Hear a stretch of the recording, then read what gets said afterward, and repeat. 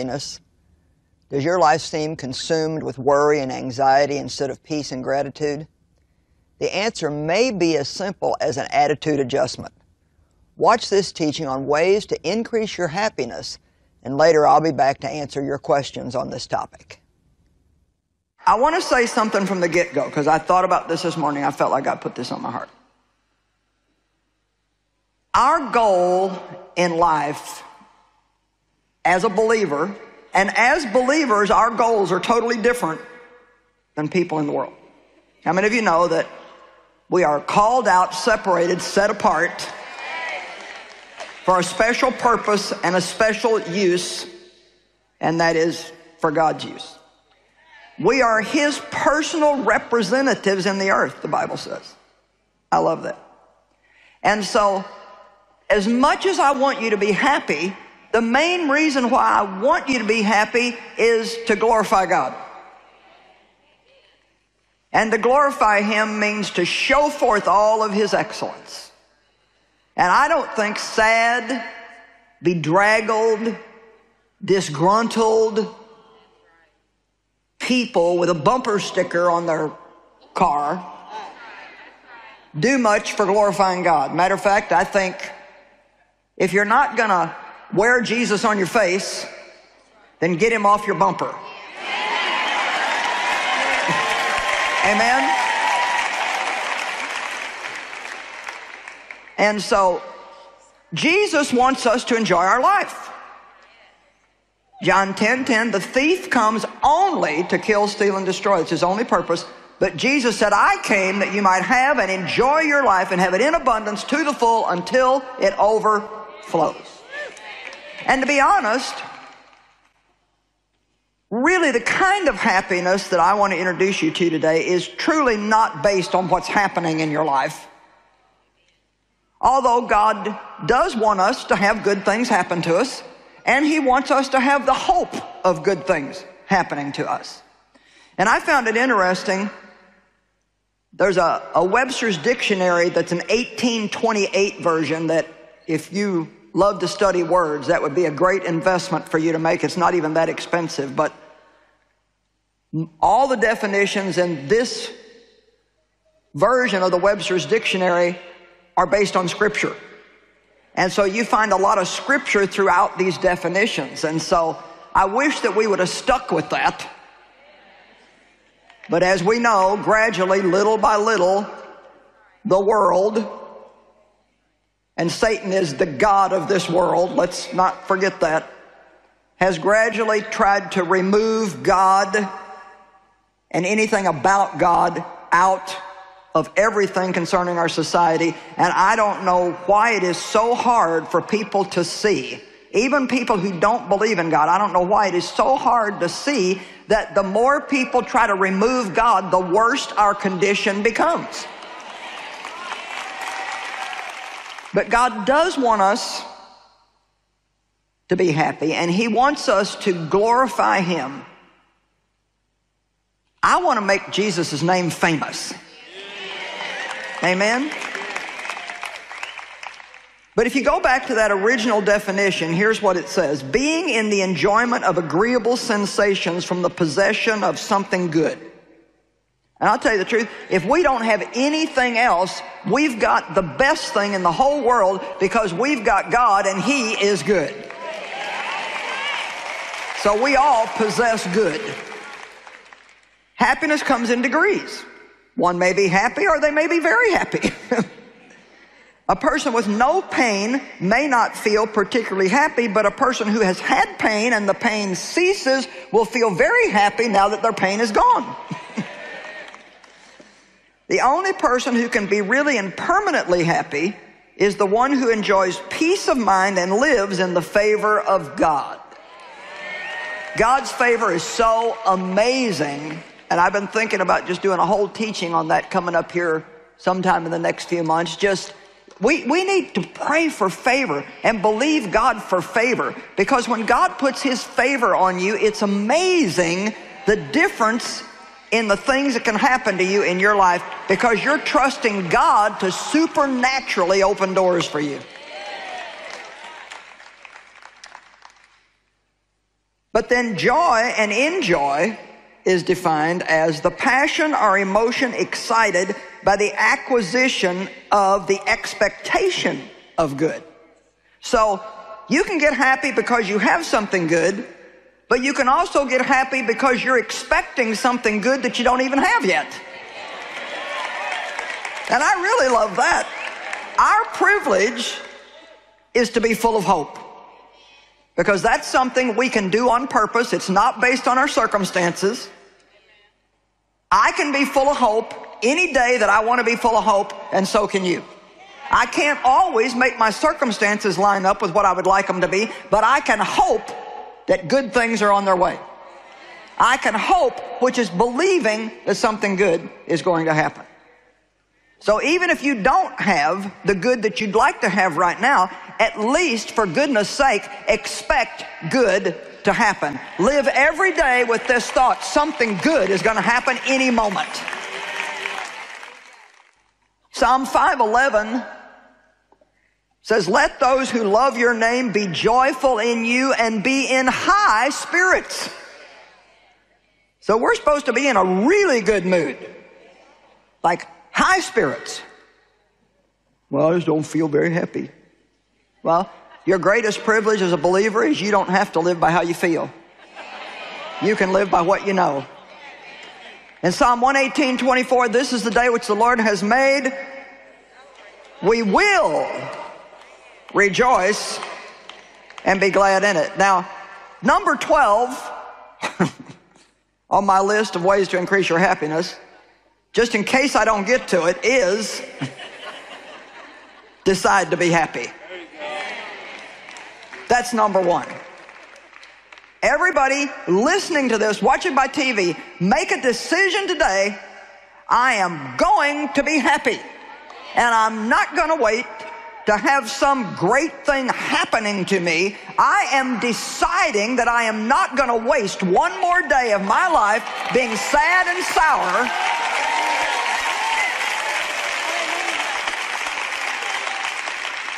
I'm going to glorify God today and notify my face that I'm saved.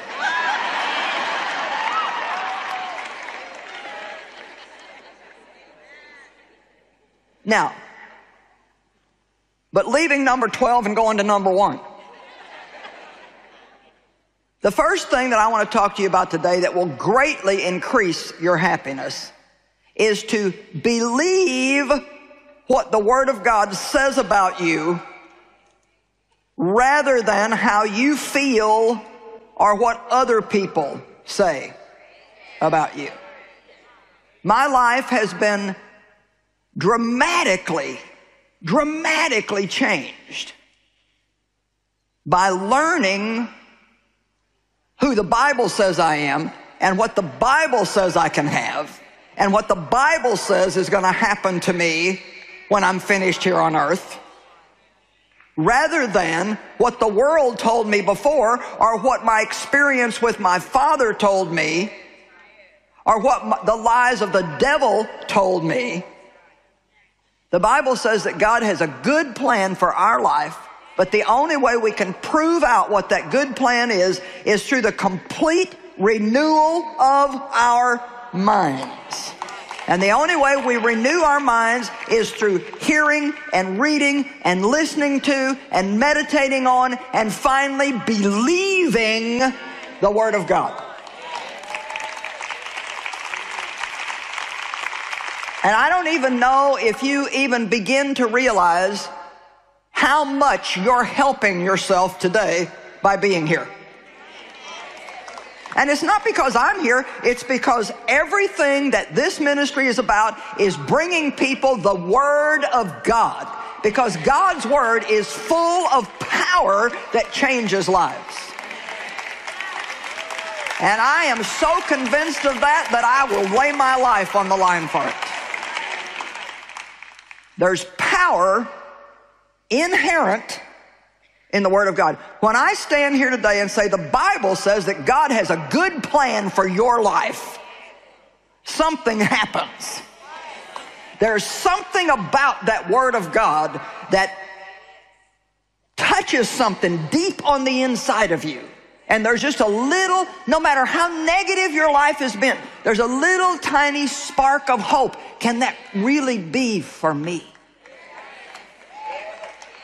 And when you begin to claim it as your own, and you begin to think like this if anything good can happen to anybody, it can happen to me.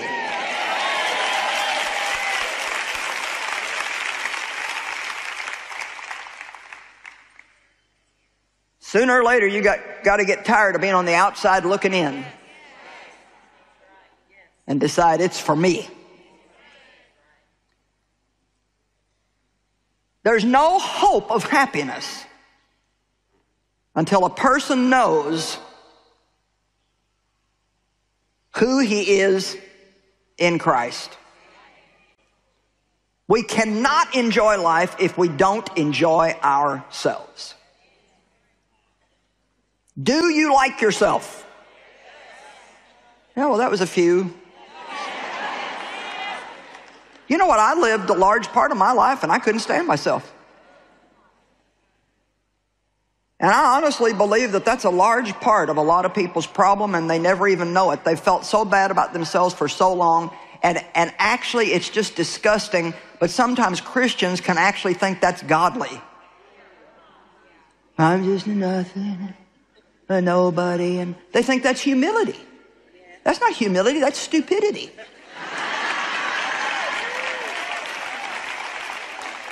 Here's the way you think I am nothing in myself, but in Christ. In Christ, as a child of God, as a believer of the Most High, you better get out of my way, devil. Now listen, I wore my power suit today. You know, black is supposed to be a power color. Amen. Because with all my heart, I want you to get this. Know what you're not in yourself. Almost every day I say, God, I know that I'm nothing without you. In me, that is in my flesh, dwells no good thing. But I thank you that you're in me and through you I can do all things. You know, this is such a valuable teaching because we all want to be happy, but too often we let our circumstances stand in the way. Ginger joins me now with some of your questions about this subject. Well, I'm sure there were lots of questions about how can I be happy. well, you're right. It is exactly what everybody wants and it's it's elusive at times. It's not always that easy, especially in the natural world with just so many things happening that seem to be coming against us. So a great question to start out with is Aggie is asking, Joyce, what is the difference between joy and happiness? Is it possible to be happy but lack joy? Well, I think probably sometimes we use the word happiness when we really should be saying joy because to be honest, happiness is probably more based on what's happening in our life, but we have an option of having the joy of the Lord. I use the word happiness because I think a lot of people understand that better in a right. practical way in their life. But I think the joy of the Lord really is our happiness. And, and when I say that, I don't necessarily just mean that the only thing we can be happy about is having a relationship with God. But I think that having hope can take any situation, no matter how difficult it is, mm. and turn it into joy for us. You know, I think often about how terrible it must be for people who don't know Christ and who have no hope at all in their situations. Mm-hmm. And I know just this past weekend I was doing a conference and I felt led in every session to start out by saying, make sure you keep your hope at a high level because hope is a positive expectation that something good is going to happen. And so we all have circumstances. We can't do anything about that. Even Jesus said, In the world there will be tribulation, but then he said, Cheer up. I've overcome the world. Right. And so I do believe that it's, it's only our hope in him and the joy that he gives that can make us truly happy. Otherwise, happiness is just based on what's happening and that's something we can't control. Right. So I hope that helps her. it, it, does, and a lot of these questions are based on different circumstances Right. in people's lives. They're coming from social media. People are going through hard things. Right. But you're talking about something that is beyond a circumstantial happiness. Right, exactly. So, all right, then let's let's jump in with this one. Um, Jocelyn asks, "I keep trying to be happy, so why don't I feel happy inside? I feel like I'm just going through the motions and pretending to be happy, and a lot of people do that. They put on Right. a happy face, Right. when inside that's not the truth. Well, I don't know for sure that this is the case with Jocelyn, but you know, since I don't know what these questions are before you ask me, I usually try to just give out what I believe God's putting in my heart. And so I know that one of the root causes of a lack of joy or happiness for people is how they feel about themselves. And that's the first thing that came to my mind with this situation. I don't care what you have or what your circumstances are until you can be at peace with yourself, until you feel right about yourself. And even that's not based on what we do or doing everything right. It's based on knowing that we've been made right with God through Christ.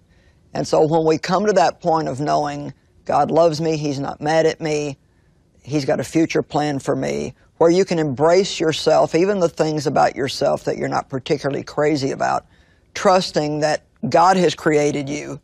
And I believe that even our weaknesses, God has a purpose for. If nothing else, having some weaknesses keeps us humble, which is extremely important. Yeah. So I just think it would be good for, hopefully, Jocelyn, but also for many people watching today to take a moment and just ask themselves, what kind of a relationship do I have with me? Am I happy with me? And once again, Ginger, I'm not happy with everything I do. But I can honestly say that I don't let it disturb me anymore because I know that my heart's right and I know that I'm growing. I know that I'm changing and I know that's what I want to do. And I spent so many unhappy years in my life. And I can tell you that a lot of it came down to probably a couple of things. One, not knowing how to think right, and I'm sure we'll get around to talking about that mm-hmm. before the program is over today. But the other one was I just wasn't happy with me. And you know, if you if you're not happy inside, really no matter what's happening on the outside, Right. you're never really going to be at peace and enjoy your life. Yeah. I, I think you probably hit the nail right on the head. Diana asks, My hubby of one year betrayed me, and I just can't let it go. It's draining my happiness daily. Um, we're staying apart at the moment, but because I keep bringing up the issue day in and day out, there's no healing for either one of us. So, what do you suggest for Diana? Well, two things. First of all, um, she has to ask God to heal her heart. You can't just try to get over something like that because honestly, there's no way that you can. Yeah. You know, there's a wound there that only God can get to. And I think uh, that's important that she is able to address that to say, I was wounded, you Yeah. know, that, that, it's okay that it hurt. Yeah. But now what do I do next? Yeah, so uh, what, you know, I mean, I was abused by my dad sexually, and I couldn't just get over that, you know? Yeah. I mean, I needed healing in my heart. And Isaiah Yeah. 61 says that he gives us beauty for ashes, the oil of joy for mourning, the garment of praise for the spirit of heaviness. But one of the things that I've realized about that scripture is that he gives me beauty for ashes, but I can't keep the ashes and have the beauty. So that's kind of where the thinking comes in. It's like I can't just keep thinking about what he did to me. So I guess my first question to her would be Do you want to redeem the situation? Do you want to make the marriage work? And if you do, then you must let go of what happened because to keep bringing it up all the time is never going to work. This is going to require some prayer, it's going to require some time, and it may require some baby steps, you know? In other words, like, this is not something you just get over right away. I mean, unless God gives her a miracle in her heart and she's completely healed suddenly, which many times it just takes a little bit of time and it takes sticking with things. And you know, one of the things that may be helpful is to think about um, our own sins. Sometimes when somebody hurts us, it's like, I've hurt a lot of people. I don't always do everything right. Maybe I didn't do to somebody else what they did to me, but when I do really make huge mistakes and hurt people, I really appreciate their forgiveness. Now, I know this is a very serious thing. to, to do something like that to someone is very serious. And I don't make light of it at all. But I do believe that they can recover, and I even believe that they can go on and have a great, great, great marriage. It's just a matter of whether or not they're willing to work through the stuff. So, to make it short, go to God for the healing that you need. If you want the beauty, be willing to give up the ashes. Make a commitment to the Holy Spirit that anytime I'm thinking about this in a way that's not good, if you'll remind me, I'll lay it down Yeah. and look to the future. And then just uh, baby steps. Take it a little bit at a time. You make such a good point because let's say there is not going to be marriage. M- Maybe he just disappears. Right. She still will have to take these steps for her own personal healing Exactly. and moving forward in her own life. Yeah, because really she has to try to trust again. And that is not easy. Yeah. And Yeah, I, I recall after being hurt by my dad and God trying to teach me how to trust Dave, and then I'd had a bad marriage before that. And I was like, how can you ask me to do that after what people have done to me? And I so remember God putting this in my heart. I'm not even really asking you to trust Dave, I'm asking you to trust me. Because there's no guarantee that nobody's ever going to get hurt again. Right. But the guarantee is that if you do, God is still there to heal you even again if that's what you need. And he does want her to have happiness. Yes, He does. Absolutely. Leslie wants to know with all of the horrible things that are happening in the world, how do you keep the weight of it all from burdening your spirit? Well, Psalm 37. I think about it myself a lot because I just, I'm so grieved by what's going on in the world and all the things that, it, it's just terrible. The world is in a terrible condition, and it certainly would be a time to be fearful if, if you didn't know the word. But I love Psalm 37. It says, Fret not yourself because of the evildoer, for they shall soon be cut down like the grass. Now, the joy is not in that they're going to be cut down, because really, we have a space of time to pray for these people. And I believe that that's why Jesus is tarrying or taking his time about coming back, because his desire is that people would be saved, you know, that their lives would be turned Right. around. And there's a lot of confusion out in the world about about God and about well, which religion is is right to practice. But I really think that we must put our trust in God and pray about the situations that are out there, believe in the power of prayer, because I don't like to hear people say, well, I guess there's nothing I can do but pray.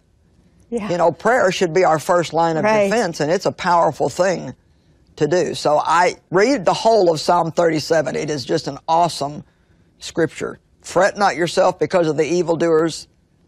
They shall soon be cut down. Commit your way unto the Lord. Trust also in Him. He will bring it to pass. Cast your burdens on Him. Yeah. We don't need to worry. We don't need to fret. God is still in charge, Right. and we do win the war. We may not win every battle, but we do win the war. Great news. Very important. It doesn't mean hide your head in the sand and not know No. what's happening. It means there's hope through That's all right. of it. Kathy wants to know how do I keep my joy when unexpected problems pop up? Um, my ways of reacting in the old were really bad, and now I just hunger to be in peace, no matter what situation arises. Well, one of the things that I've kind of been doing lately, and I've been teaching on this some, is, you know, first of all, yes, we can have a very quick reaction to things. And I'm certainly not beyond that, and I'm sure you're not either. It just depends on, you know, what it is. Yeah. Somebody runs over your toe with a grocery cart in the grocery store, and just initially you're ready to just, you know. but thankfully, through the help of the Holy Spirit, we can feel that coming on. We really can. And so naturally, when something upsets you, your thoughts just want to get in the ditch. You know, they're just like, just like, and so I've learned, and I'm still learning, to do what I call talking myself off the ledge. in other words, you know, if I feel like I'm ready to jump off into a bad attitude or into a real bad self pity party or something like that, I just talk to myself. Now, Joyce, you've been through this over and over. You know what the word says. This is not the way to react. Just get somewhere and calm down. Sometimes I'll even say to myself, breathe. Hmm. or I might even say to myself, why don't you just keep quiet? Because nothing you're saying is helping the situation. I do believe that that is a really cool answer to a problem that deep that we deal with on a regular basis. And the good news is, is she wants to do what's right, or she wouldn't have sent the question in. Right. And none of us ever know what'll pop up. No, you really don't. But a good thing is, is that we can do whatever we need to do through Christ who is our strength. I love the amplified translation of Philippians 4:13. I'm ready for anything. I'm equal to anything through Christ who infuses inner strength into me. Yeah. Well, thank you for your help, your suggestions, your answers. We always appreciate it. Well, thank you. Well, today we're offering you some teaching of the Word of God, which we do on every program. I've done this for the whole 22 years I've been on TV and will continue to do so because the Word is what changed my life and it's what will change yours. It's a two CD series called Seven Ways to Increase Your Happiness. And we're sending you along some little encouragement note cards that you can write a word of encouragement on and send it to somebody else. You know, you always reap a harvest on what you give away. So encouraging other people is a way that you can receive encouragement back yourself. And today we're offering this to you in a very special way. We want you to have this today for your gift to the ministry of any amount. We just want you to do the very best that you can. Some can do more, some can't do as much. Just do something. Do the best that you can and let us send this word to you. And you know what? Your gift is going to help a lot of people continue to receive the word of God and the help that they need. And I want you to be encouraged today because you know what? God has a good plan for your life. This morning and tomorrow morning, I'm going to teach a little two part series on ways to increase your happiness. Who would like that? All right. Now, I have 12 ways, but I'm not going to put how many ways into the title yet because I never know how far I'm going to get. So it could end up to be seven ways to increase your happiness. It could be five ways to increase your happiness. It could be all 12 ways to increase your happiness. It just depends on how I behave, and we never know that either till I get started. So. It's amazing how happy you get if you begin to believe the right stuff. Let's look at Romans 15, 13. May the God of your hope, uh-oh, there it is. May the God of your expectation that something good is going to happen fill you with all joy and peace in believing. we'll stop right there. In believing. Most of the time, when you don't know what happened to your joy or why you're in a stinky mood, something is wrong with your believing. Come on, I like these people. I'm going to preach to them. Come on, when, you, when you're in a bad, stinky, foul mood, check your believing. What are you believing? What are you thinking? And you can change your believing. I can't help what I believe. Yes, you can. You can believe whatever you want to believe. You're making me work too hard. See, I have decided to base my life on this. And when I started, I didn't have a lot of real proof, but I sure wasn't getting any good out of what I was doing. So if what you're doing is not working, Why not try what a few million other people tell you works? See, you'd have to know what I was like. Man, I was awful. And I had been treated so bad. My dad sexually abused me. My mother didn't know what to do about it, so she didn't do anything. I had other relatives who sexually abused me. I married the first guy that came along and he ran around with other women who wouldn't work and stole stuff from me. One night I woke up and he was trying to steal my wedding ring off my finger to go sell it. I mean, I was so dysfunctional. My family was, they were the very definition of dysfunction. We invented dysfunction. I didn't know how to have a relationship. I was a manipulator. I was a controller. I was negative. I was sour. I was judgmental, jealous. How much time do we have?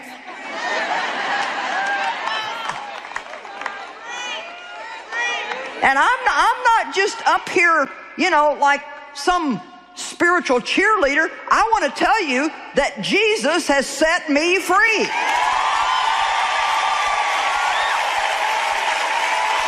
He has set me free. He whom the Son is set free is free indeed.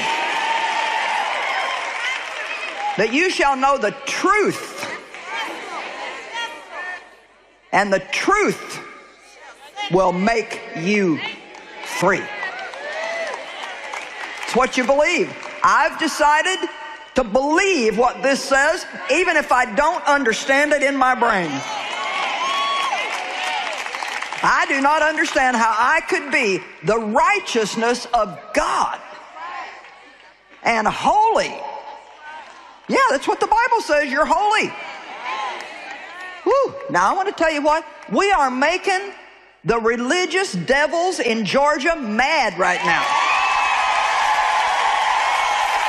I mean, they are not liking this meeting. Because religion wants you to be loaded down with rules and regulations and things you have to do to be good enough for God.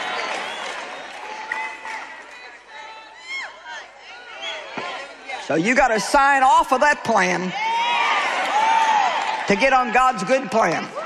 God loves you. He loves you unconditionally. He doesn't love you because you're worth being loved, because the fact is you are not. But He loves you because He is good. And the more you see how good He is, the more you're going to want to behave right, not because you have to, but because God is so good you can't hardly stand it.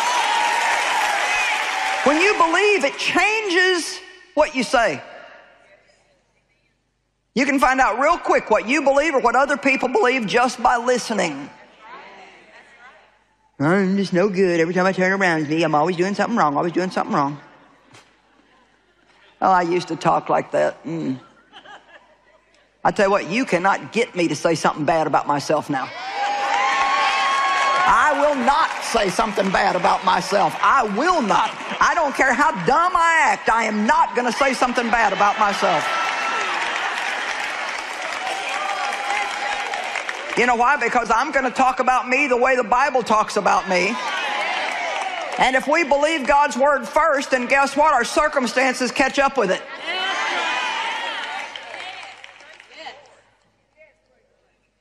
You know, most of you are getting there, but there's a few, just a few of you out there that you're still. You know why? Because you're like, well, you just don't know what I'm going through. Will you get over it? Get off of it. This is a new day. And I know, I listen, I was hurt so bad, it was unbelievable. So you can't tell me I don't know how you feel. I know how you feel. But I also know that you don't have to live by how you feel.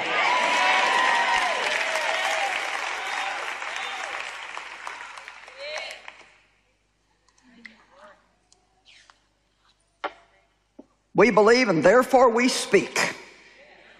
2 Corinthians 4:13. Believe there's a good life available for you. Believe, believe, believe, believe. I got to get off of this point and go to another one. Point number 2 to enjoy, there's not much chance of 12, is there? I've only. hey, but we still got tomorrow morning. Live one day at a time and enjoy it. Learn to live one day at a time. I don't know what's going to happen tomorrow. What do you think is going to happen in the world? I don't know. Nobody else does either. Everybody sits around and theorizes about what's going to happen in the world. I don't know. All I know is that sometime Jesus is coming back and I want to be ready. And I know that is a fact. That's a sovereign decree. Christ will come back. Nobody's going to do away with that one. Paul said he had learned, Philippians 4:11, I have learned to be content. And I love the amplified translation of content, satisfied to the point where I'm not disturbed. Philippians 4:11. Paul learned how to be content in every situation. He learned it. You know what? Being unhappy about your paycheck is not going to help you make more money.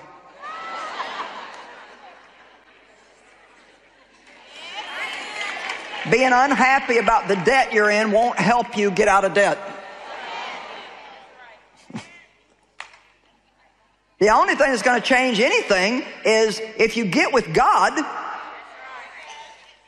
find out what you can do and do it, and then trust Him to do what you cannot do.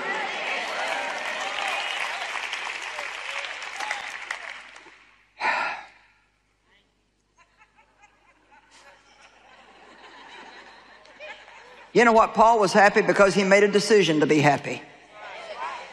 This guy was being imprisoned for preaching the gospel. He was being beaten. He, people were trying to kill him. They were against him. And in the midst of all that, he decided to be happy. He decided to be happy. Say, I've decided to be happy. And I can hear it again, but I can't help how I feel. No, you can't. And I can't always help how I feel either, but thank God I don't have to live according to my feelings. I have got enough of the Holy Ghost in me to override how I feel. And you do too.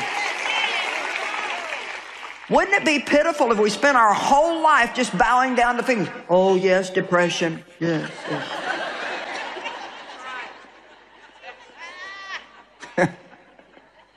Yes, fear, here I am, come and rule my life. You know, when the Bible says fear not, it doesn't mean don't ever feel fear. It means when you feel fear, dig in both feet and keep going forward. You don't have to live by how you feel. You do not have to live by how you feel. You do not have to live by how you feel. We have made feelings the big boss. You need to make the announcement today to your feelings. You no longer get to vote.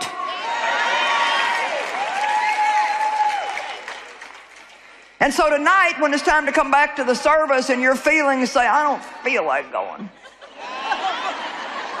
you're going to say, Too bad. I'm going, and if I'm going, you're going with me. Isn't that right? Boy, people who live by their feelings, you might as well just get a big rubber stamp, destroyed, and go ahead and just stamp it on everything in your life. Happy are the people whose God is the Lord, Psalm 144 15. Happy are the people whose God is the Lord.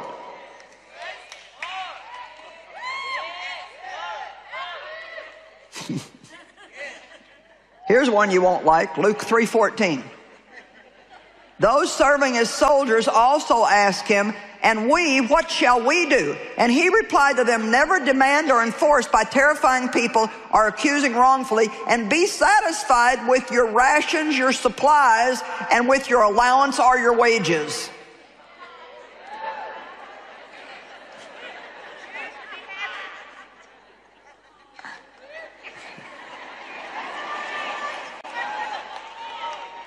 Well, bless God, I just don't make enough money. They just don't appreciate me around here. And I, you talk to God about that. God, I need a job that's going to pay me more, but man, I'm thankful to have anything right now. And I tell you what, they may not be treating me right, but you're the God of justice, and you can get back to me whatever people don't give me. You know, you know, I even caught myself doing this the other day. And, and I got a little correction from God. You know what? Your paycheck is not your source.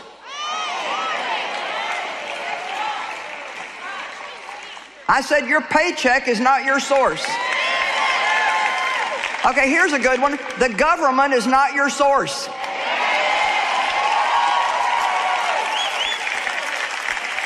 The government can't give you anything they don't take away from somebody else.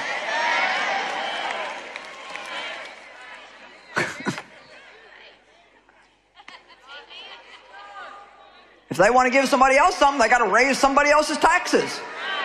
So then pretty soon those people don't need anything and they need somebody to take care of them.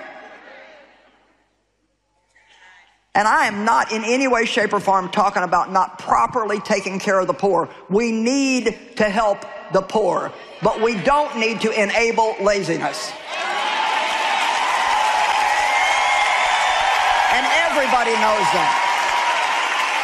A large majority of my life is spent helping the poor, and I will always continue to do that. But I'll tell you the truth, it never was the government's job, it was the church's job.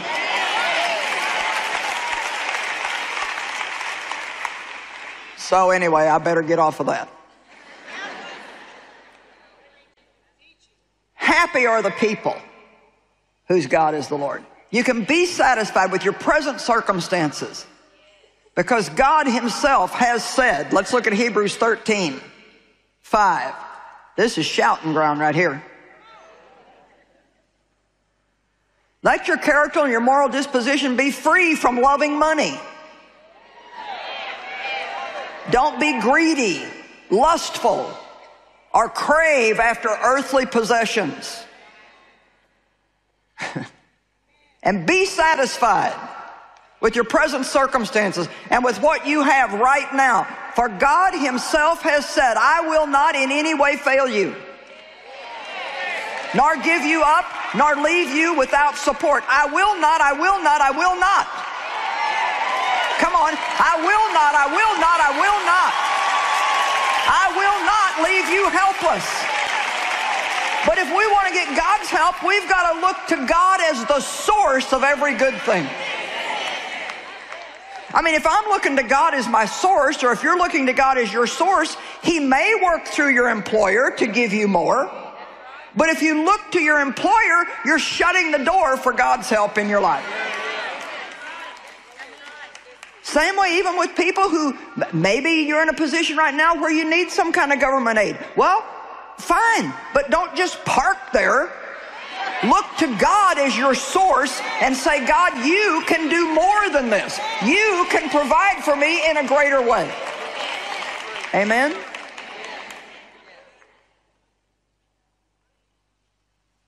And everything that I say to you, I say for one reason only it's because I love you and I want to help you. And to be honest, sometimes I'm willing to make people mad if it will shake them out of their complacency.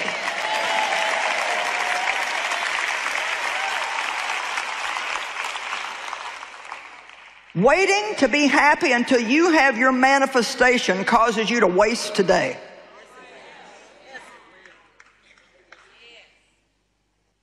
Why waste all of your days between the time you prayed and the time you get your breakthrough? Waiting is where we're tested. I prayed on Monday, but if I still don't have it by Friday, do I still believe? Keep saying, God is working. God is working. God is working. On Tuesday, you say, God is working. On Wednesday, you say, God is working. At midnight, you say, God is working. Don't let the devil wear you out, you wear him out. There's a sadness about waste. See, I wasted enough of my days and I don't want to waste any more. I made myself a decision about 25 years ago no more wasted days. I don't have another day to sit in the house and feel sorry for myself all day because Dave went out and played golf and didn't do what I wanted him to. Come on. I don't have another day to go sit in the bathroom floor and cry because Dave's watching football instead of paying attention to me. Hello. Come on. I, don't, I don't have another three weeks to be depressed because the person at work that I don't like got the promotion I wanted. Okay. Make a decision to enjoy your journey. Enjoy your children while they're growing up. Enjoy your home while you're paying for it. Enjoy yourself while God is changing you. Okay, number three way to increase your happiness is stay in peace. Oh, hallelujah. Stay in peace. You know, peace equals power. Jesus could only speak peace to the storm that everybody else was afraid of because he had peace in him. I am telling you that you can increase the power in your life.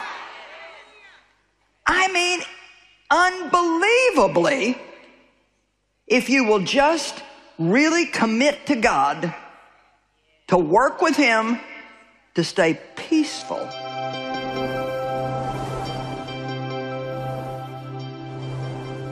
Well, if there's one thing I've learned, it's that waiting to be happy until everything is just right in your life is a waste of time. God wants us to be happy no matter what situation we find ourselves in. We don't have to live by how we feel. We can decide to be happy. Today we're offering you a two part CD series called Seven Ways to Increase Your Happiness. To be honest, I can't imagine anybody that couldn't benefit from that.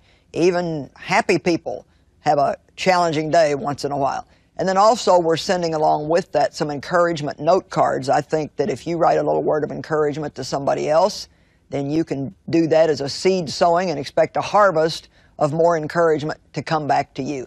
And we're offering this to you for your gift today to the ministry of any amount. We trust you to do your absolute best. We do this from time to time. It's a way to make sure that everybody can have the word. And so just do your best and know that your gift is going to be used to help somebody somewhere who really not only needs to find happiness, but probably Christ also. So stay with us, and when we come back, I want to take a few minutes today to pray for your needs, and that's very important, so be sure you stay with us. Discover the keys to maintaining your peace and joy in every situation. As Christians, our lives reflect God's love, and our peace and joy in Christ should make others want what we have. In Joyce's two CD series, Seven Ways to Increase Your Happiness, you'll learn why the joy of the Lord is your strength and how to embrace happiness through Christ. You'll also receive encouragement note cards with four different designs, each one with a powerful scripture on the back, the perfect way to encourage someone you care about. These resources are available today for your gift of any amount. To order, call us toll free at 1 800 727 9673 or visit us at joycemeyer.org.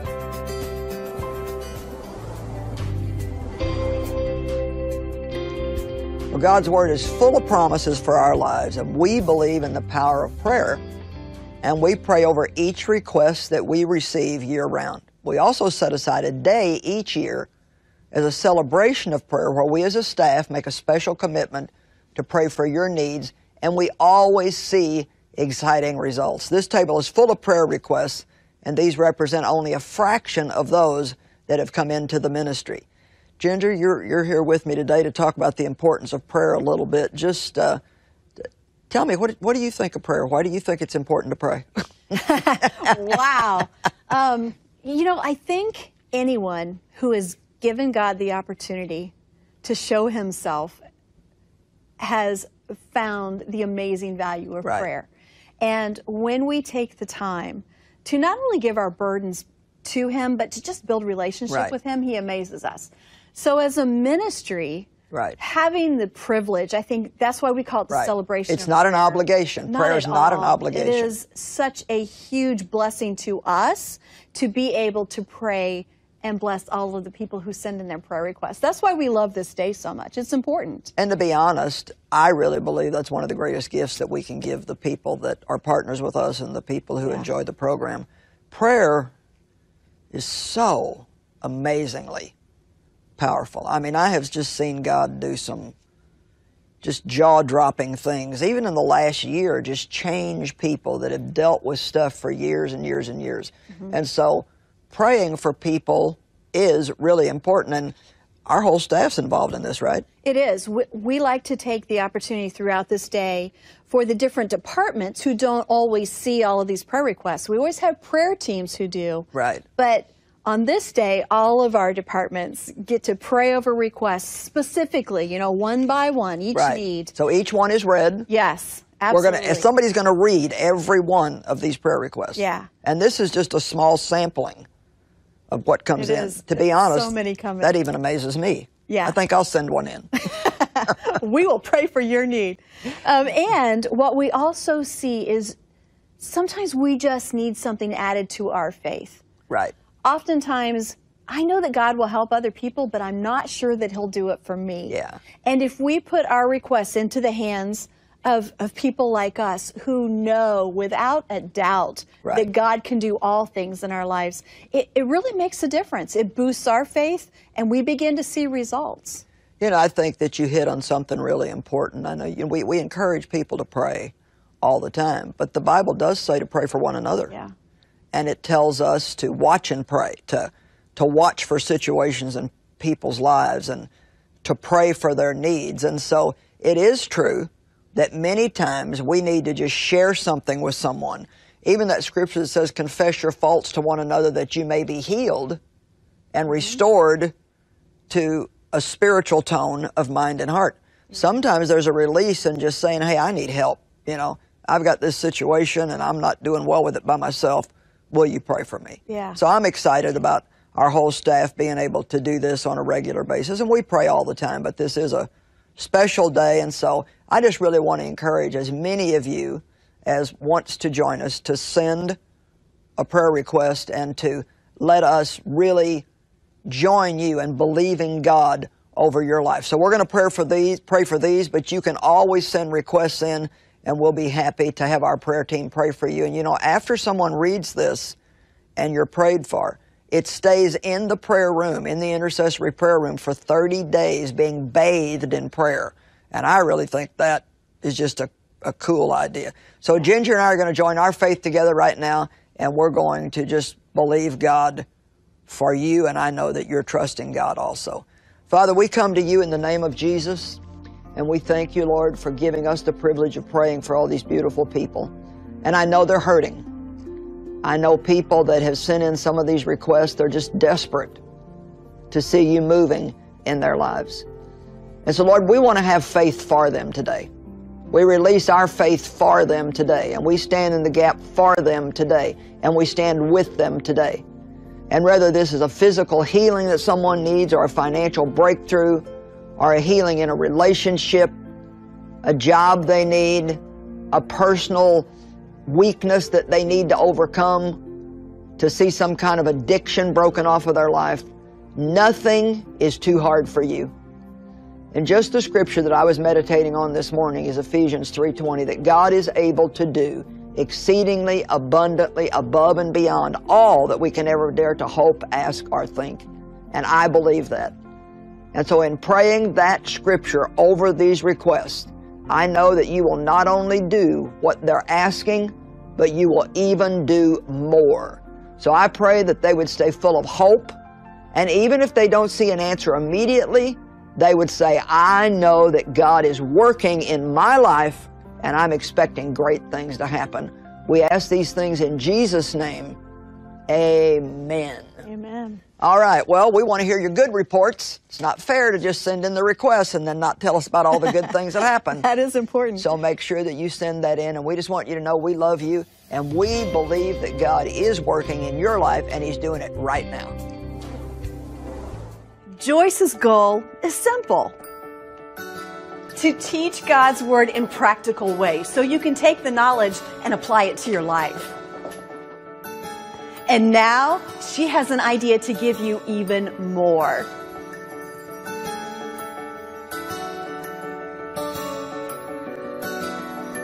Our goal is not just to be happy, although that's a good goal in itself, but our goal is to glorify God in everything that we do. And I, I personally believe that sad faced Christians don't glorify God. They're not a great advertisement for salvation. So we need to uh, live our lives in such a way and even have an appearance about us that makes people want to have what we have. And so I think that the joy of the Lord, which is our strength, and peace and patience and different things like that, are very important for us as believers if we really want to be used by God.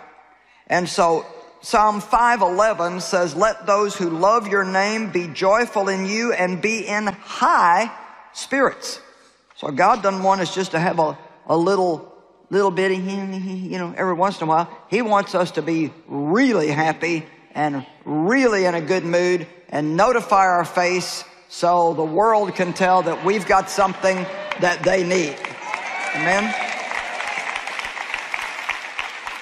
And you know, after having lived a long time, I've come to the conclusion that really, what do we all, really the bottom line of what, what does everybody want? You know what? They just want to be happy. I mean, when you go out and go shopping, you're doing it because you want to do something that makes you happy.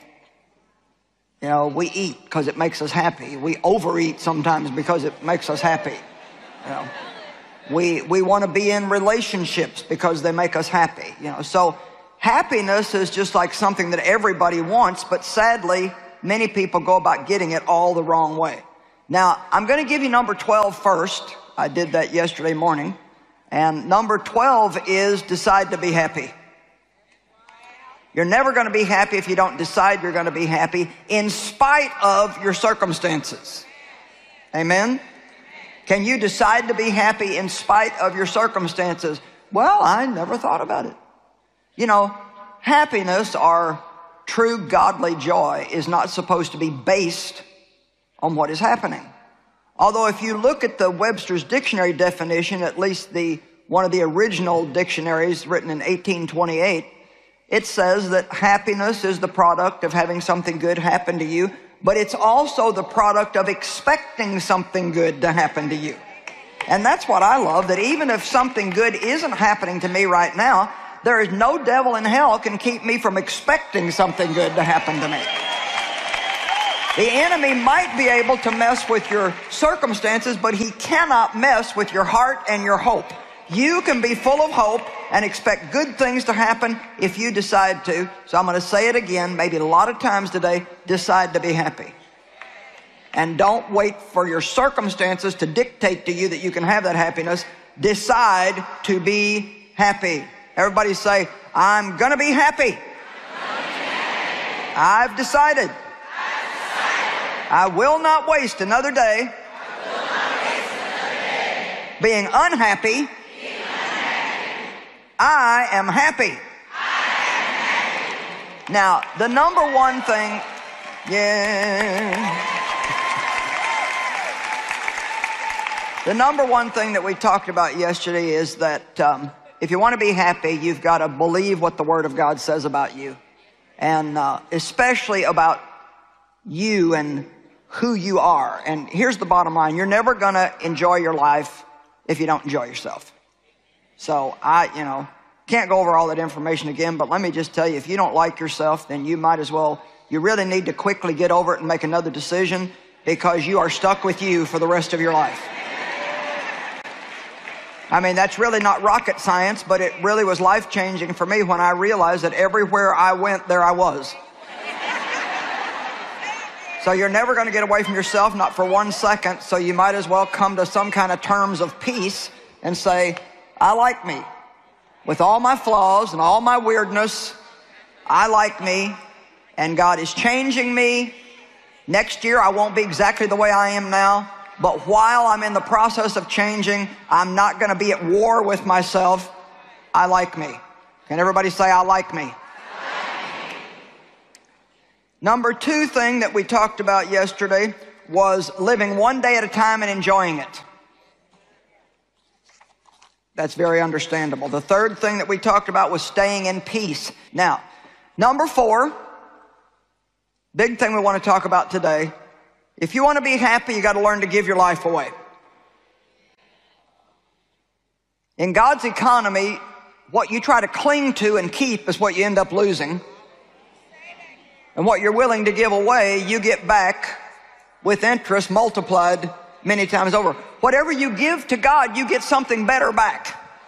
Isn't that interesting? whatever you give to God, you get something better back. So if you give yourself away, you say, God, here I am, you take me, you do with me what you want to do, use me in your kingdom, use me to help people, use me to be a blessing to people. And don't just pray that one time in your life, pray that every day.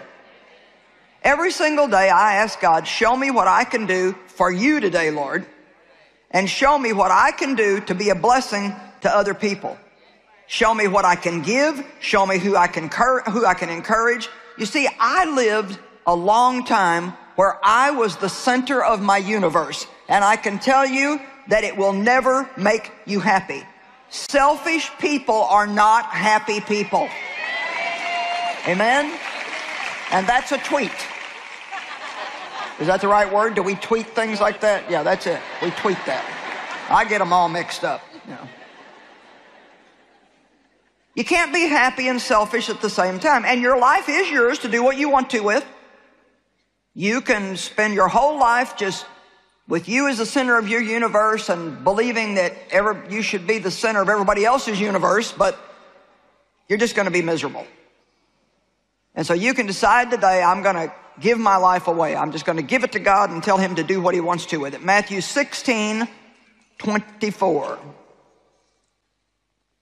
Then Jesus said to his disciples, If anyone desires to be my disciple, let him deny himself, disregard, lose sight of, and forget himself and his own interest. Now, you know, forget yourself doesn't mean you're not going to take care of yourself, but it just means that you're just not going to have yourself on your mind all the time. Amen? Get up in the morning and first thing start thinking about how you can be a blessing to somebody else or think about God, but do something besides think about yourself. And take up your cross and follow me. Now, you know, there's been a lot of conversation about carrying the cross. Well, this, you know, this problem is my cross to bear. This sickness is my cross to bear. You know, this tragedy is my cross to bear. No, that's not biblical. The cross that we carry is to forget ourselves, lose sight of ourselves and all of our own interests, and say, Here I am, God, a vessel empty of myself. You fill me full of you and do what you want to with me and through me today. Come on, that is shouting ground right there. Amen.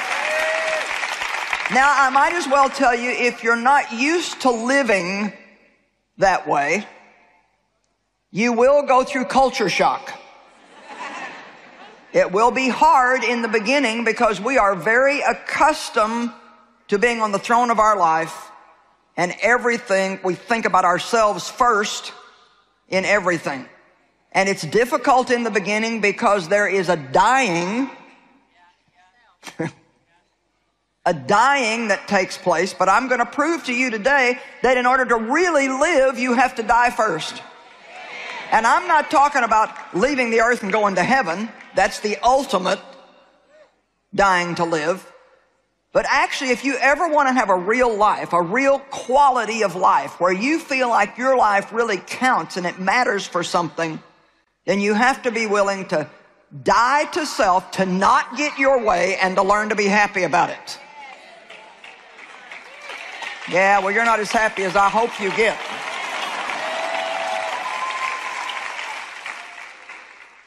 Some of you are thinking, well, I already don't get my way. Well, yeah, but you're not happy about it.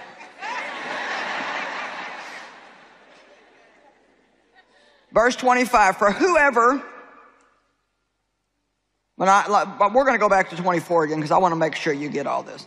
Then Jesus said to his disciples, if anybody desires to be my disciple, let him deny himself, disregard, lose sight of, forget himself and his own interests, and take up his cross and follow me. Cleave steadfastly to me, conform wholly to my example in living, and if need be, in dying also. For whoever is bent on saving his temporal life, his comfort and security here, shall lose it, eternal life. And whoever loses his life, his comfort and security here, for my sake, we don't do this because it feels good. We're not even really doing it for other people. We're doing it for His sake.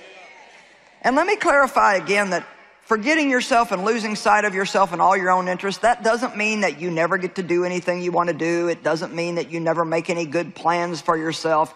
Let's don't take this out of context.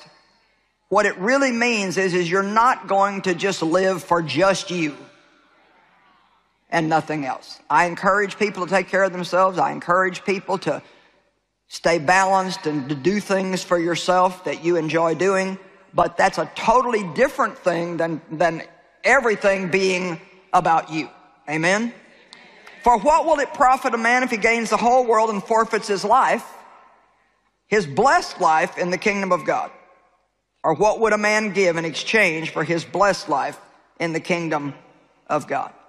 So I believe that we should learn to live and give. Live and give. I get up every day. Everything is not about what's coming to me. Everything is about God working through me. To be honest, I don't even have anything to give that's worth having if I don't first receive all of God that I can possibly receive and then let Him flow through me. Amen? Trust me, you don't want what I've got to give you.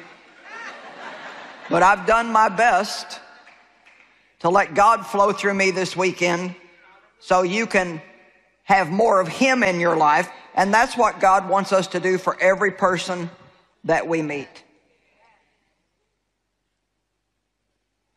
Now, John 12, 24 through 26 are just amazing scriptures, and I'm going to work part of this message around this. So, watch this.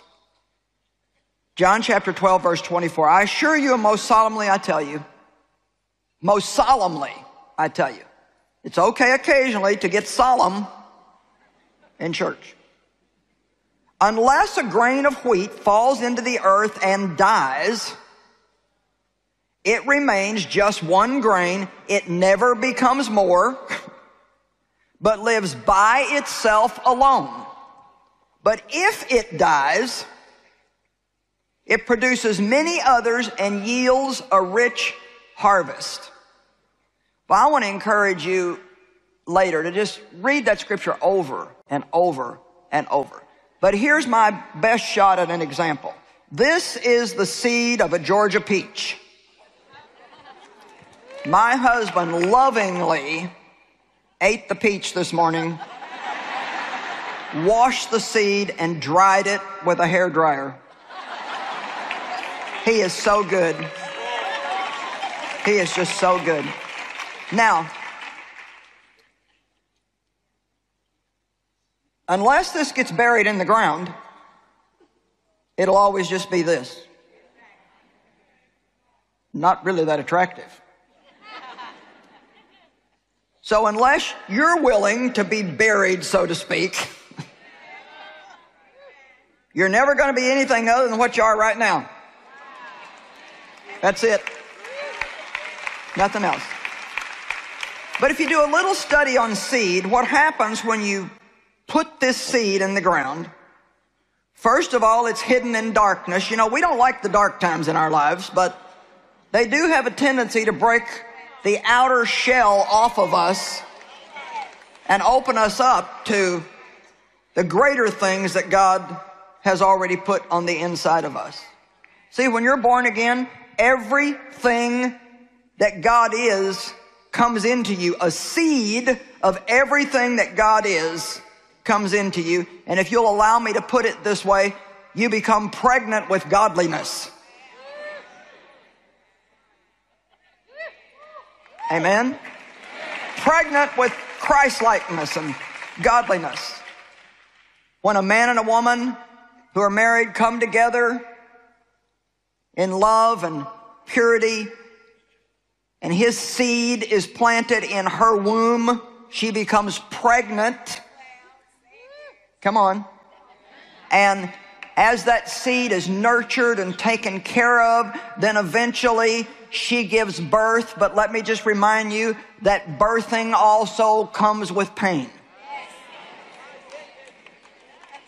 Amen? Just saying. Okay? And if this seed had feelings, we're going to pretend for a moment that it has feelings.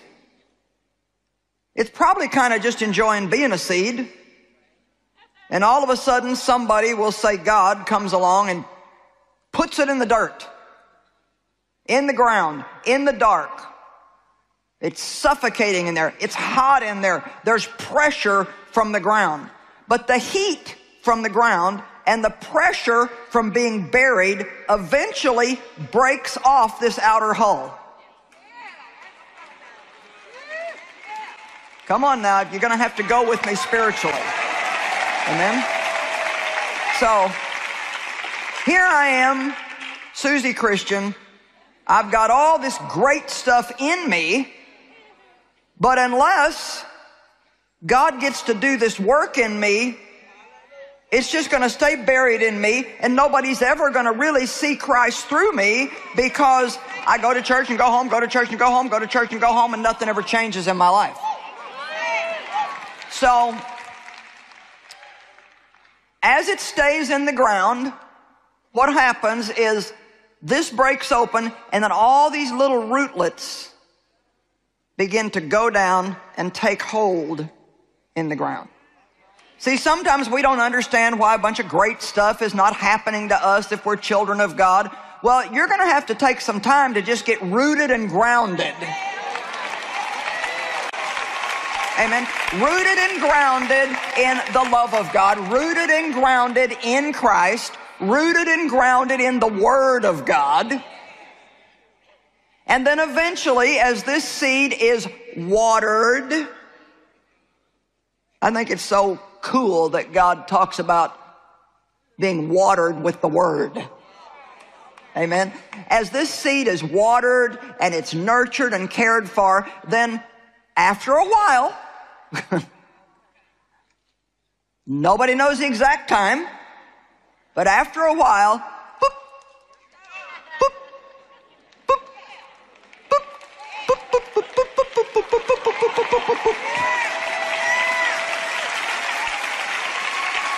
and after a while, this thing that was just this very unattractive, hard, useless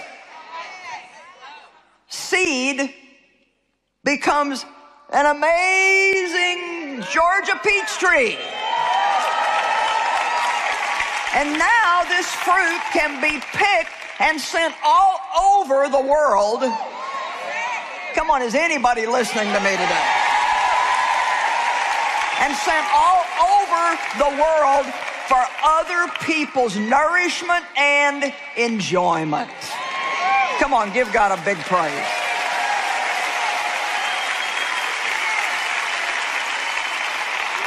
And you know, just to take a moment and just speak lovingly to our TV audience, you know, um, these folks that are here, they've got, a, I know, some level of commitment or they wouldn't be out here on a Saturday morning. And I don't know how much you know about the things of God or the Word of God or how much you even fully understand what I'm saying right now.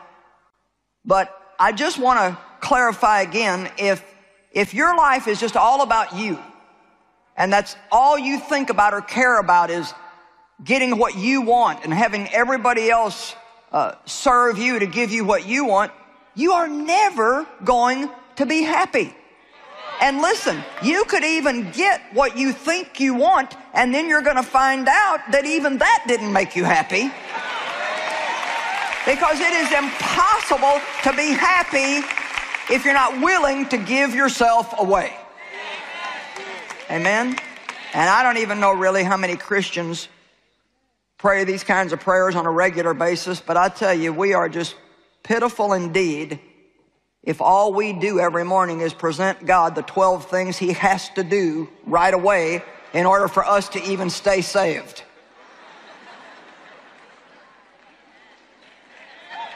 Well, God, if you don't do this, I just can't be happy. And if you don't do this, I just don't know if I can go on. And if, if I have to put up with this one more day, God, I just don't think I can hang in there anymore. yeah, we all have things we want. Every one of us have things that we want. I have things that I want. But you know what I've learned? If you seek the kingdom, God will add the things. Amen. And Psalm 37 Delight yourself in the Lord, and He will give you the desires of your heart. All right, now, 2 Corinthians chapter 8, verse 5. And boy, I like this. Mm, I like this. See, some of you, you're just starting to feel a little bit freer already just with the very thoughts of. I can just kind of feel that in the spirit today. It's just kind of like, wow.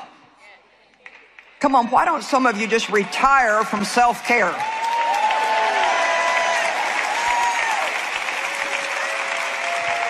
Let's throw a big retirement party. When somebody says, Why are you so happy? Say, I'm not concerned about myself anymore. I've given myself away, and whatever God does with me is up to Him. If He gives me what I want, that's good, and if He doesn't, that's probably even better. 2 Corinthians chapter 8, verse 5.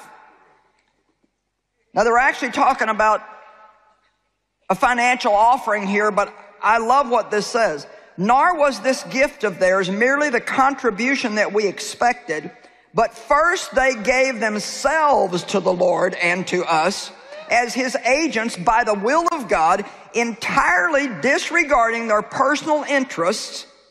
They gave as much as they possibly could, having put themselves at our disposal to be directed by the will of God. They gave themselves to the Lord. Paul said, not only did they give an offering, not only did they put some money in the basket, but they totally submitted themselves. And so even when you give your offerings in church from now on, before you drop it in, why don't you say to the Lord, I'm giving you this little token, little tiny bit of what you've given me. But Lord, before I put it in here, I just want to re-clarify that I'm giving you myself. How about if we put ourselves in the offering basket? Come on, I like that.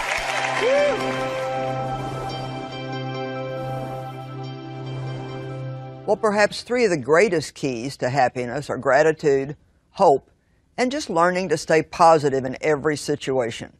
You know, these things can go a long way in creating a happy life. They were a revelation to me personally, and they really helped to transform my attitude.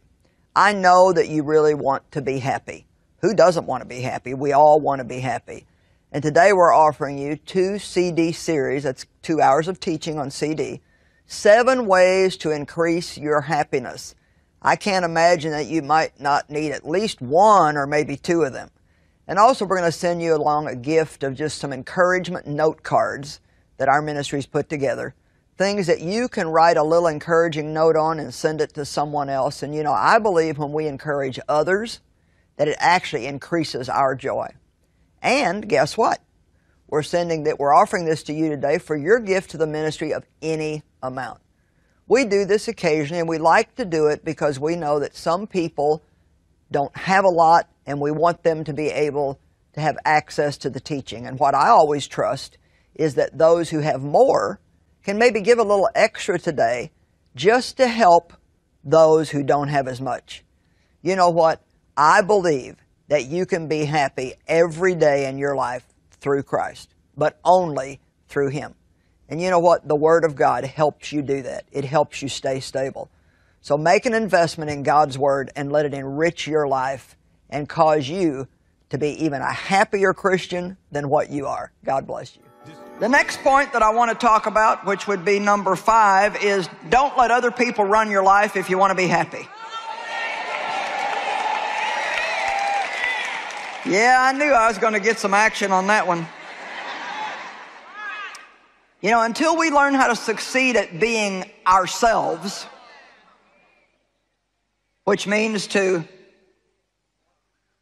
follow your heart, not your flesh, your heart, which means to follow the leadership of the Holy Spirit. Come on. The leadership of the Holy Spirit. We're never going to be really truly happy. Galatians chapter 1 verse 10, Paul said, Now am I trying to win the favor of men or of God? Do I seek to please men? If I were still seeking popularity with men, I would not be a bondservant of the Lord Jesus Christ. Paul said, I would have, I would have lost this whole opportunity to be an apostle of Christ. And I can tell you right now, if I would have been trying to keep people happy, I sure wouldn't be standing here today in this ministry. It's amazing what we cheat ourselves out of, but what we also cheat everybody else out of. Because God has not only got something for you that will fulfill you, but He wants to use you to bring something to somebody else. And I probably would not be wrong if I said that the largest majority of people miss the fullness of their destiny. Because the one thing you can be guaranteed of that the enemy will bring against you is a threat of rejection if you dare to fully follow God.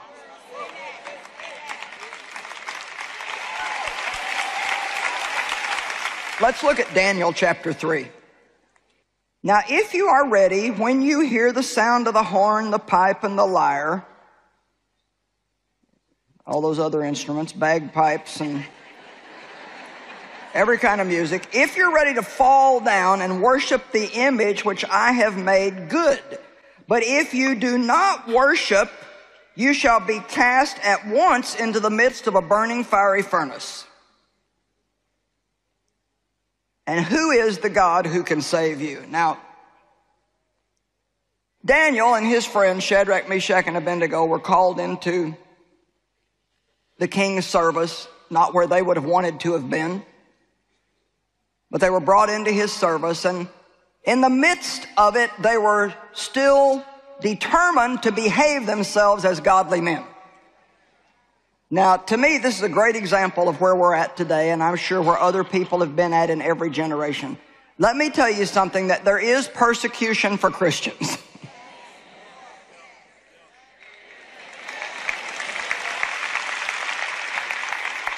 now, if you're a sneaky Christian, a secret, hidden Sunday morning Christian, then you might avoid the persecution. But if you're, if you're a full on going to live for God believer, then you're going to have some persecution in the world. So Shadrach, Meshach, and Abednego were given this message. Now here's an image of the king and everybody's going to bow to this image. Well, they knew they couldn't do that because they weren't going to bow to anybody but God. And so here came the threat, which we always get the threats. If you don't bow down, there's going to be suffering for you. In this instance, that we're going to be put into the fiery furnace. For us, sometimes is that you'll be put out of the group. We're no longer going to like you. We're going to gossip about you, you know, blah, blah, blah, blah, blah. You know, blah, blah, blah. How many of you know what that means? All right. Number 16, Shadrach, verse 16, Shadrach, Meshach, and Abednego answered the king, O Nebuchadnezzar, it is not necessary for us to answer you on this point. In other words, that's so stupid, I'm not even going to answer it. if our God, whom we serve, is able to deliver us from the burning fiery furnace, he will deliver us out of your hand, O God. And it didn't mean like if he's able, if he's capable of it, but what that really means is if that's the best thing, if that's what God wants to do, he will deliver us. But if not, let it be known to you, O king, that we will not serve your gods or worship the golden image which you have set up. So in other words, you do what you want to, but we've decided to follow Jesus. You do what you want to, but I've got my mind made up.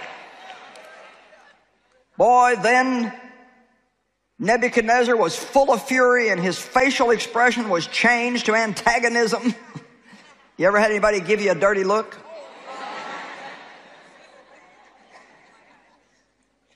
Against Shadrach, Meshach, and Abednego, therefore he commanded that the furnace should be heated up seven times hotter than normal.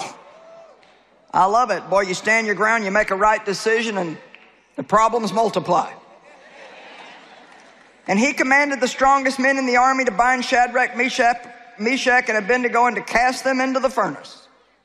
Now I want you to watch carefully. And these three men were bound in their cloaks, their tunics or their undergarments, their turbans and their other clothing, and they were cast into the midst of the burning fiery furnace. Therefore, because the king's command was urgent and the furnace exceedingly hot, the flames and the sparks from the fire killed those men who handled Shadrach, Meshach, and Abednego.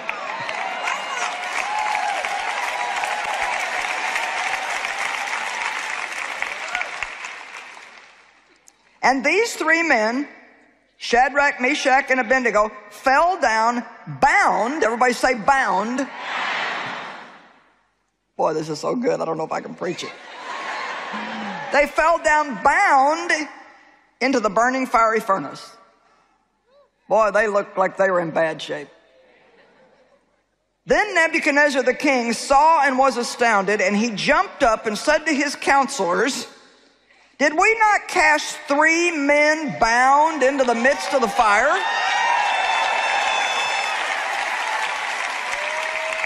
Woo! And they answered, True, O king. Verse 25, and he answered, Behold, I see four men. Now here it comes. Wait, wait, wait, wait, wait. Wait, you're too early. I see four men loose.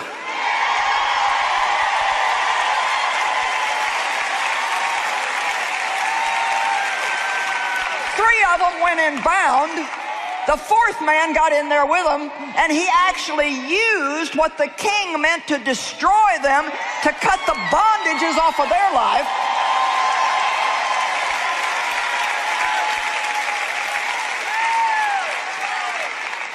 Oh, man.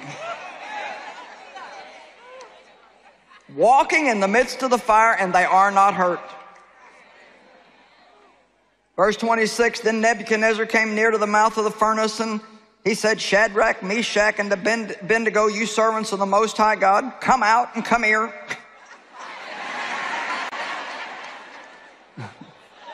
oh, what a message. There must be something different about you guys. You better come over here and tell us what it is.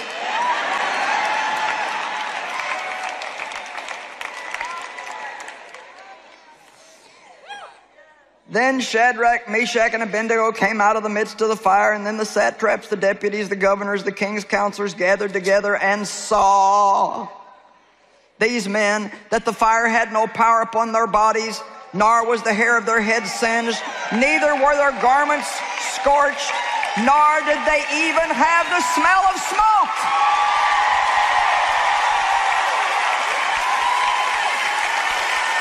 They didn't even smell like smoke.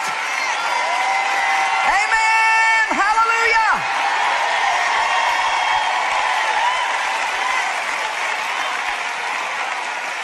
Now, number six. Thank you. If we're ever going to have any happiness, we've really got to understand the grace of God. And just to make it as simple as I can for the amount of time I have. Grace is not only God's undeserved favor, so that means instead of me spending my life trying to kick down doors that I want to go through, I can trust God to give me favor and open the right doors for me at the right time. Grace is what changes us. God's power Grace is not only undeserved favor, it's God's power coming to us free of charge to enable us to do with ease what we could never do on our own with any amount of struggle and effort. That's my very own definition. You want it again? Grace is God's power coming to us freely. All we need to do is receive it and it enables us. Grace is enabling power. It enables us to do with ease what we could never do on our own apart from God with any amount of struggle and effort. I tell you, I tried so many years to change myself because I knew that, you know, I had problems. I tried to be happier. I tried to be peaceful. I tried to be a better person. I, you know, I tried and tried and tried and tried.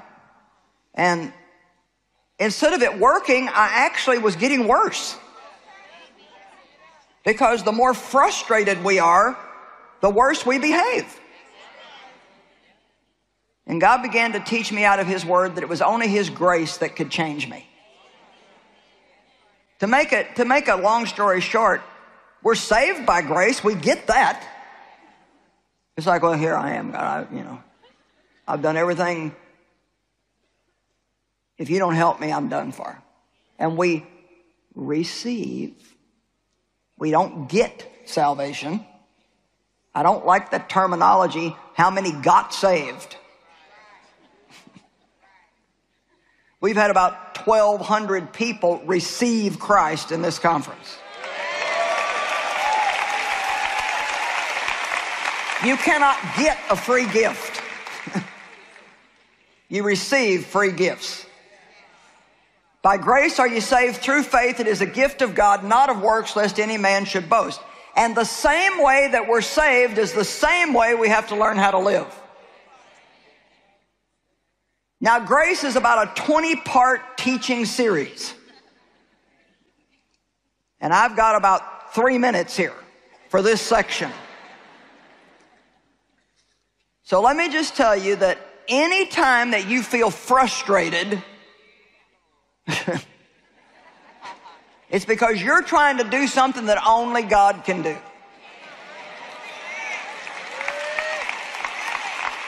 Anytime you're frustrated, you're trying to do something that only God can do, and you need to stop and just say, okay, I've gotten over into works of the flesh, which is my energy trying to do God's job. I'm a back off here, God. Help me. I need you to make this happen. Apart from you, I can do nothing.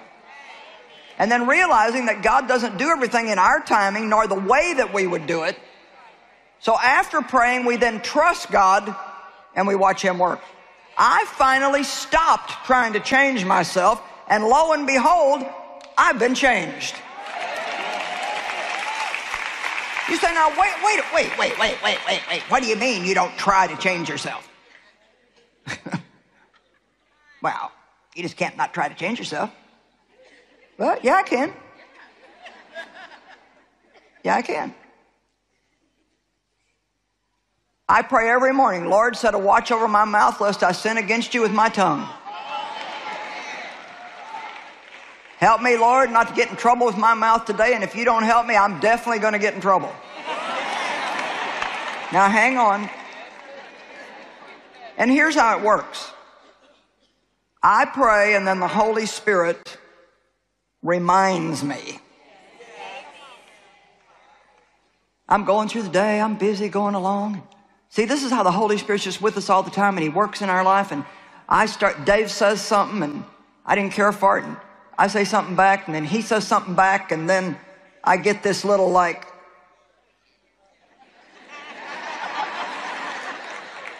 how many? Okay, see, you get it, you know. Now, you know, maybe you're not quite where we're at, and you're like, what's she talking about? You get this. Well, the Holy Spirit lives inside of us, and the Bible says in Romans 7 6 that we no longer live by the law. We don't live by all these rules and regulations of how we have to behave for God to love us, but we now live by the promptings of the Holy Spirit.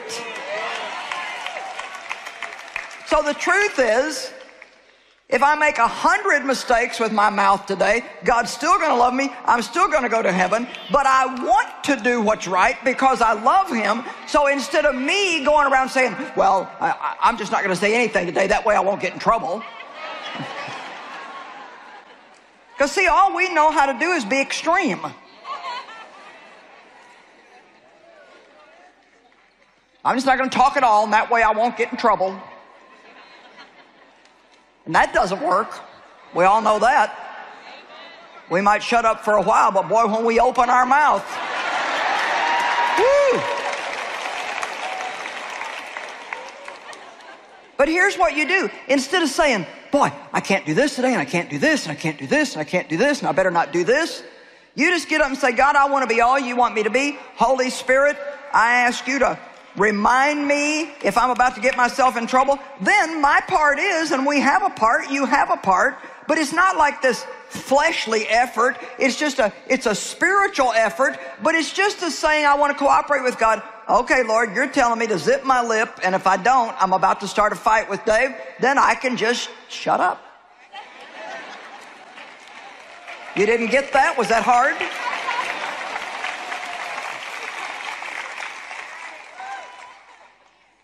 How many of you are understanding what I'm saying?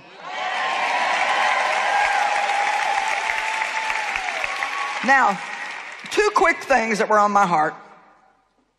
First of all, I want us to look at 1 Corinthians 15:10. The apostle Paul said, "But by the grace, the unmerited favor and blessing of God, I am what I am." And his grace toward me was not found to be for nothing, fruitless and without effect. In fact, I worked harder than everybody, but it was not really me, it was the grace of God in me which did the work. Now, I mean, this could initially even sound a little confusing, but Paul is saying, look, I am what I am by the grace of God. But when God offered me his grace, I didn't take it in vain. I took that power of the Holy Spirit and I used that to do the things that God wanted me to be, do. Now, Paul's, okay, now here I am, I'm a successful apostle, but let me remind you that it's only because of the grace of God. And I can tell you today, I mean, honestly, when I come up here and I preach, and I've done this now for 40 years, but when I come up here and preach, I'm just like, it's almost like I'm somebody else. And, well, that probably doesn't make any sense, but it's like, I'm like, because you see, when the, when the grace and the power and the anointing of God comes on you, the Bible says it turns you into another man or woman. We can do things by the grace of God that we cannot do any other way. But let me also tell you, when I come up here, I am not depending on me. Now, I've studied, I've worked, but even that, I need God's grace to keep doing. I've been doing this 40 years. This may be your first conference. It's not my first rodeo. Amen. And just to want to keep doing it, just to stay fresh, just to have yet another message, just to stay in one more hotel. I need grace, grace, and more grace. So you got to depend on God all the way through. You could stop grumbling about your jobs if you would depend on God's grace every day when you go there.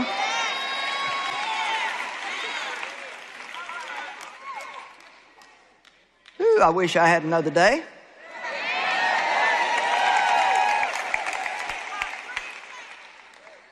And in 2 Corinthians 12, 7 through 9, I'm not going to take the time to go there, but let me tell you something if you are in a difficult situation, you have a difficult child to raise, you are in a difficult relationship,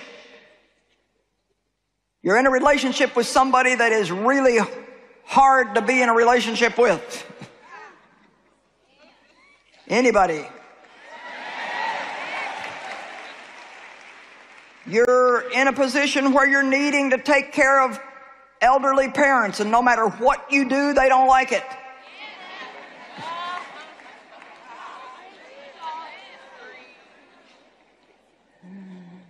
Yeah.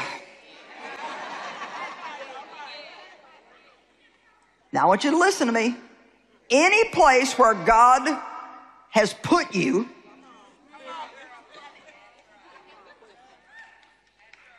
He will give you the grace wait, wait, wait, wait.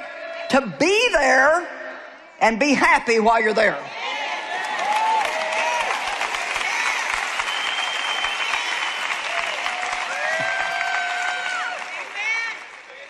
Paul prayed that God would deal with what the Bible calls the thorn in his flesh. Three times he called on the Lord, and the Lord said, I'm not going to remove it. My grace is sufficient. And the Amplified Bible says, My grace is sufficient to enable you to bear the trouble manfully. In other words, my grace can enable you to be in that situation and put a smile on your face and serve me and do it with a good attitude.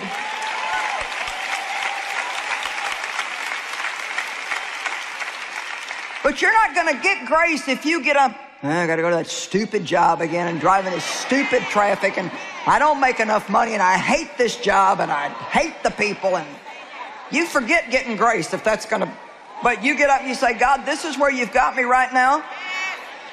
And I'm going to trust you that when you're done with me here, you're going to put me somewhere else. But in the meantime, I'm going to go there by your grace with a smile on my face, and I am going to represent you, and I am going to glorify you. Amen? That's what grace is. Grace doesn't just hang around to forgive my stupidity, it does that too. But grace enables me.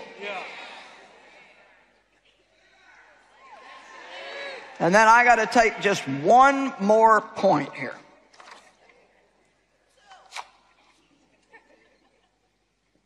Number seven, if you're going to be happy, there's four things you got to understand about people.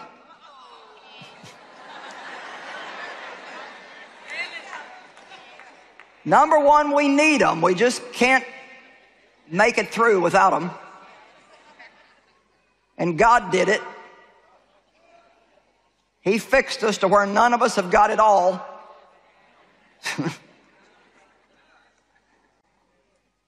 They're not easy to get along with.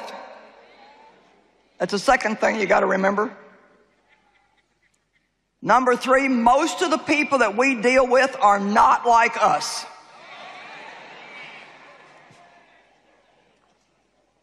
And we're looking at them going, What is your problem?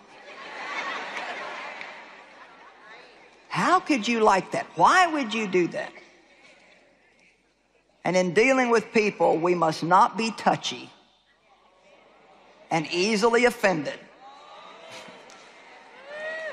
But we must be extremely generous with forgiveness. Amen? Well, I know now you're wanting the rest of the points, right?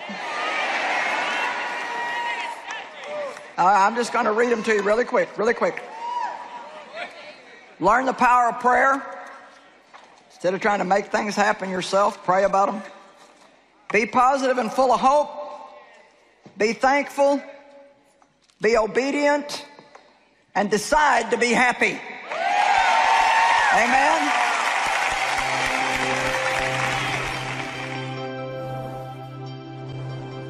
Well, perhaps three of the greatest keys to happiness are gratitude, hope, and just learning to stay positive in every situation. You know, these things can go a long way in creating a happy life. They were a revelation to me personally, and they really helped to transform my attitude. I know that you really want to be happy. Who doesn't want to be happy? We all want to be happy. And today we're offering you two CD series. That's two hours of teaching on CD Seven ways to increase your happiness. I can't imagine that you might not need at least one or maybe two of them. And also, we're going to send you along a gift of just some encouragement note cards that our ministries put together. Things that you can write a little encouraging note on and send it to someone else. And you know, I believe when we encourage others, that it actually increases our joy. And guess what? We're sending that we're offering this to you today for your gift to the ministry of any amount. We do this occasionally, and we like to do it because we know that some people don't have a lot, and we want them to be able to have access to the teaching. And what I always trust is that those who have more can maybe give a little extra today just to help those who don't have as much. You know what?